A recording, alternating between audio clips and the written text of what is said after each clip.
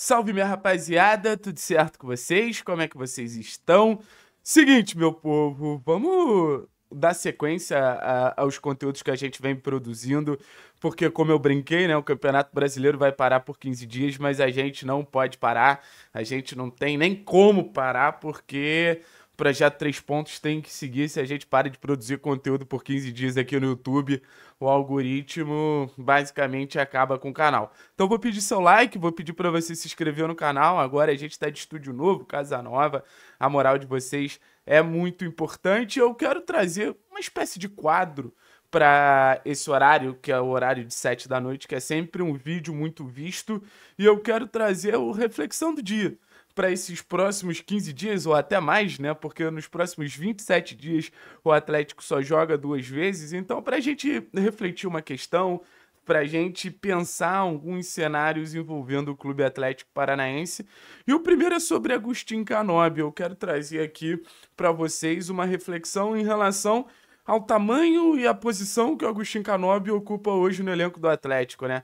Que para muitos o Canóbio chegou a ser em algum momento a pior contratação da história do Clube Atlético Paranaense, mas é muito legal de perceber essa volta por cima que o Canóbio deu, é muito legal de perceber essa, essa reconstrução da história do Canóbio com a camisa do Atlético desde a temporada passada. Acho que não dá para dizer que a temporada de 2023 do Canóbio foi uma temporada ruim, muito pelo contrário. Acho que se você pegar a temporada como um todo, nos momentos que o Atlético mais precisou, Flamengo, Bolívar, o Canóbio apareceu e apareceu muito bem. Acho que não deixa de ser uma grande característica de um protagonista saber estar tá ali no momento certo, saber estar tá ali no momento decisivo, e pelo menos na temporada passada o Canóbio conseguiu se apresentar nesse momento onde o Atlético mais precisava. E acho que essa temporada, apesar da inconstância dos primeiros jogos, principalmente ali com o Juan Carlos Osório, o Canóbio volta a dar respostas muito significativas,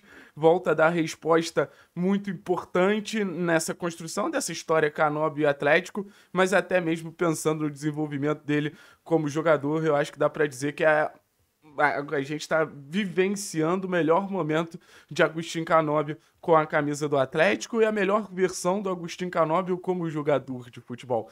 Por isso que essa discussão em relação ao impacto, dá para dizer que o Prime Canóbio que a gente tem hoje, ele é um dos principais jogadores do Atlético? Eu acho que é sim, sem, sem muitas dúvidas, tá? Eu acho que a resposta é sim. Hoje o Canóbio é um dos protagonistas do Atlético. Hoje o Canóbio é um dos três jogadores mais importantes do time do Atlético e não tem muito nem o que pensar. E acho que quando a gente fala de protagonismo, a gente precisa saber separar protagonismo de capacidade técnica, podemos dizer assim. Por quê? Porque se você for pegar capacidade técnica, eu acho que o Canóbio não tá entre os três melhores do Atlético, não. Aí acho que fica Esquivel, Zapelli, Nicão, Fernandinho, sabe? Mas eu acho que vai além. Por exemplo, acho um ponto muito importante para você entender esse grau de protagonismo do Canóbio, personalidade dele.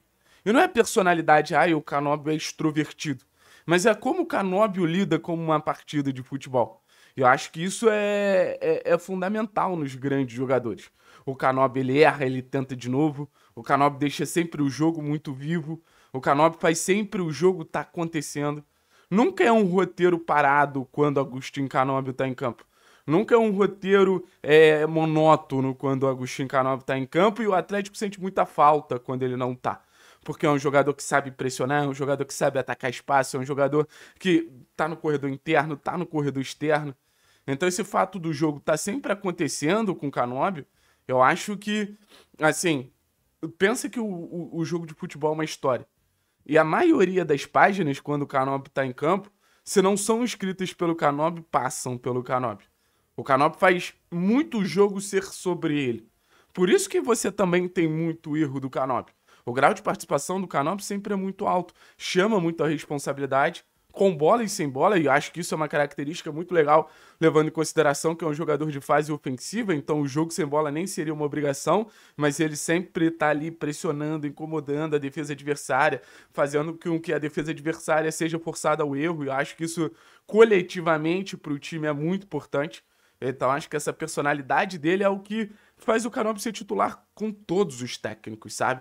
O Cuca chegou, botou ele titular, era titular com o Filipão, era titular com o Wesley, era titular com, com basicamente todos desde que chegou. Porque acho que não dá para você abrir mão de um jogador que, assim, proporciona tantas coisas para a partida acontecer. E acho que outro ponto é falando sobre essa questão dos treinadores também. Por exemplo, o técnico Cuca deixa muito claro a maneira como ele quer jogar no Atlético. Técnico Cuca deixa muito claro que quer jogar a partir de transições, o técnico Cuca deixa muito claro que quer jogar a partir de bola esticada. Seja bola esticada na profundidade mesmo, lançamentos mais longos, ou um jogo extremamente vertical.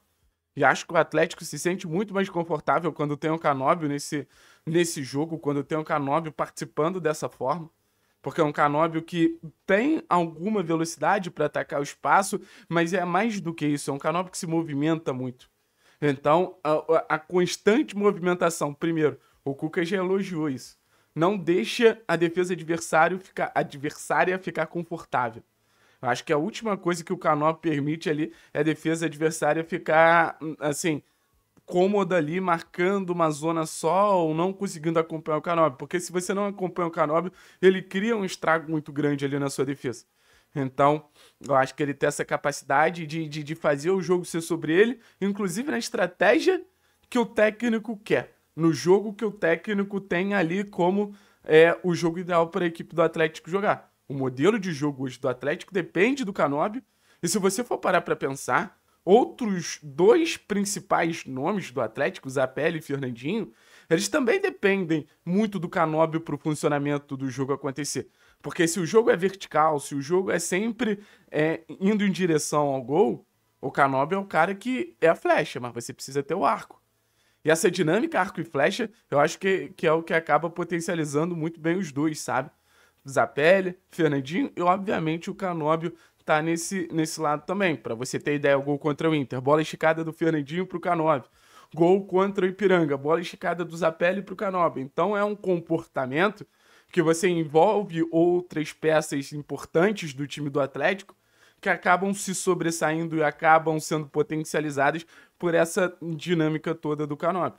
Então, o Cuca, enquanto o Canóbio estiver fazendo bem essa função, seja como ponta, jogando mais aberto, seja por dentro como um segundo atacante, o Cuca não vai abrir mão do Canobi, assim como os outros técnicos não abriam mão do Canobi. E você quer mais protagonismo que isso? Os seus principais jogadores olham para você como uma peça fundamental. Seus treinadores olham para você como uma peça fundamental. E é importante a gente ter essa conversa sobre o Canop, porque daqui a pouco provavelmente a gente vai ter uma ausência do Canop. Óbvio que vai ter a janela e existe a expectativa que jogadores da posição do Agostinho Canóbio cheguem, mas se você for levar em consideração, mesmo um ponta chegando, seria importante ter o Canóbio. Vai ser uma perda muito, muito, muito dura para o Atlético. Não vou dizer irreparável, porque é muito complicado você falar que uma perda é irreparável. Mas uma perda muito significativa você não ter o Canóbio nesse período de Copa América. Uma perda muito significativa você não ter o Canóbio durante tantas rodadas, sabendo da relevância que ele tem ali para a equipe do Atlético. E mais do que isso, cara. O Atlético é um clube que ele contrata jogadores jovens para lapidar e fazer esses jogadores chegarem na sua melhor versão. Existem alguns jogadores que acabam indo para o futebol europeu antes, como foi o caso do Bruno Guimarães, como foi o caso do próprio Vitor Roque. Só que no final das contas, o Agostinho Canóbio, ele é um jogador que ele tem um detalhe muito interessante, que ele está vivendo o auge dele, ele está entrando ali no auge dele, 26, 27 anos, com a camisa do Atlético. E apesar de uma sondagem aqui, uma sondagem ali, ao que tudo indica, a gente tem tudo para ter um Agostinho Canóbio a longo prazo com a camisa do Atlético. Então, assim, vai ser um Canóbio que vai estar no auge aqui. E se a gente está falando que essa é a melhor versão do Canóbio, óbvio que o Canóbio pode amadurecer em alguns sentidos, óbvio que o Canóbio pode melhorar em alguns sentidos e fazer com que a gente tenha um Canóbio ainda melhor. Só que o Canóbio atual é a versão que eu imaginava do Canóbio quando o Canóbio chegou. Porque durante muito tempo a conversa sobre o Canóbio era, cara, é um Canóbio que infelizmente não é o jogador que a gente pensou, não é o jogador que a gente pensou, não é o jogador que a gente pensou. Só que hoje eu acho que a conversa ela vai para outro lado. Hoje o Canóbio é o jogador que a gente pensou. Hoje o Canóbio é esse jogador extremamente coletivo, é esse jogador extremamente de grupo, é esse jogador com impacto muito grande na capacidade competitiva da equipe, na, na estratégia da equipe, na forma de atacar da equipe. Então, assim, chega de, de, de, de qualquer avaliação pouco, pouco exaltosa em relação ao Canóbio. O Canóbio demorou, fez um 2022 muito ruim, teve um 2023 de muita dificuldade, mas no final das contas o que dá para dizer é que o 2024 do Canóbio, acho que 2023 já começou, mas 2024 não só é o ano da consolidação, mas é o ano do protagonismo. O Atlético pode ganhar sem o Canóbio? Ganhou sem o Canóbio contra o Palmeiras, entrou muito bem no segundo tempo, quase fez gol, e eu acho que essa talvez seja uma grande prova do grande momento que o Canóbio vive. O fato dele ter entrado no jogo e ter se adaptado rápido ao ritmo do jogo, ter colaborado, segurado bola, ter quase feito gol, ter, ter afastado a bola do, da defesa do Atlético, ter sido um respiro muito importante ali pro Atlético. Mas eu acho que, assim, a gente tem. A gente tem o Canobi como uma peça fundamental. Eu não vou dizer que não há vida sem Canobi, mas eu vou dizer que a vida com o Canobi é muito melhor. Então a reflexão do dia, hoje o Canóbio é um protagonista do Atlético? Sim, sim, sim, sim, sim, sim, sem muitas dúvidas, sim. Valeu, pessoal. Tamo junto, é nóis.